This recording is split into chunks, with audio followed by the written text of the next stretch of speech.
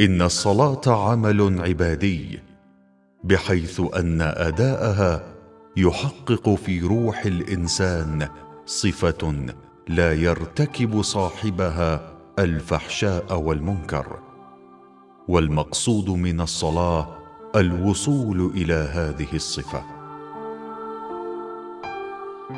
العلامة العارف السيد الطباطبائي.